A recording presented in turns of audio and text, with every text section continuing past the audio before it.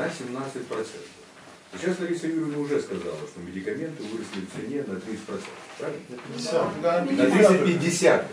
Здесь 17.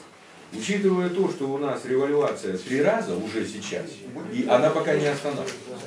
И даже самые такие оптимистичные цифры по поводу инфляции на этот год 21%, то мы можем совершенно четко себе сказать, что вот все, что мы когда-то закладывали на медикаменты, теперь это превратится в копейки.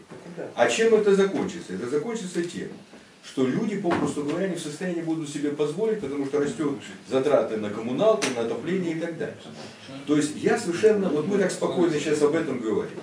На самом деле, вот из этого бюджета просто сейчас уже можно сказать, что будут летальные случаи у людей, которые просто не в состоянии будут купить себе медикаменты. Я уже не говорю здесь там про питание, там вообще смешные проценты, то есть его фактически можно сказать, его не будет в этом году вообще. Что, о чем я говорю сейчас? Мне, представляется, мне представляется, мне представляется, что мы опять вот забываем о главном. Мы 16 января, если не ошибаюсь, когда мы здесь обсуждали бюджетные вопросы, мы приняли решение о том, что комиссия начинает заниматься очень детально доходной частью бюджета.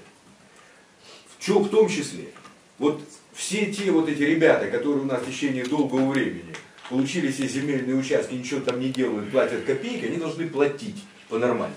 Мы приняли решение о том, что вызываем сюда Мороза со всей публикой и начинаем рассматривать детально, где мы можем увеличить доходную часть. Вот сейчас уже месяц прошел, 12 часть года. Мы ничего не сделали, даже, насколько я понимаю, у нас плана к этому. Два прошло. Два прошло уже. Шестая часть. Отсюда возникает, я уже не говорю о том, что при, вот э, здесь говорил Александр Михайлович по поводу всех тех товарищей, которые у нас акцизы платить не собираются. Э, так эти комиссии ничему и не пришли. Два месяца прошло, по доходной части, по специальному бюджету мы ничего не сделали. Э, с этим бюджетом здравоохранение работать не может. Мы должны просто честно сказать.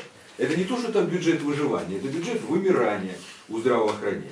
Поэтому мне представляется, нужно четко назначить на следующую комиссию вызов сюда, как мы уже здесь заранее договорились, всех ответственных товарищей, для того, чтобы на следующую сессию обязательно вышли из проекта пополнения доходной части бюджета. Это вот первое. И второе, что касается э, части расходной. Вот сегодня по сказке поднимался здесь вопрос по поводу тендеров. Это мы еще ЖКХ не заслушивали. Вот там будет сказка настоящая. Посмотрите по нашей дороге и так далее. Мы знаем о том, что где-то у нас нормально выполняют по тендеру, где-то нет.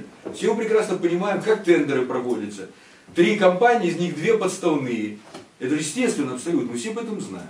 Что происходит дальше? Мы должны проанализировать, например, результаты по каждому тендеру. Это дело нашей комиссии. Уже мы туда деньги выдаем. Вот, например, э, по дороге. Вот на Карпенко, например, от э, проспекта Ленина ремонтировали 4 или 5 лет назад. Нормально дорога держится. Мы должны принять внимание тех, кто это делал. И тех, которых каждый год идет ремонт. То же самое по всем строительствам во всех департаментах по распределению средств.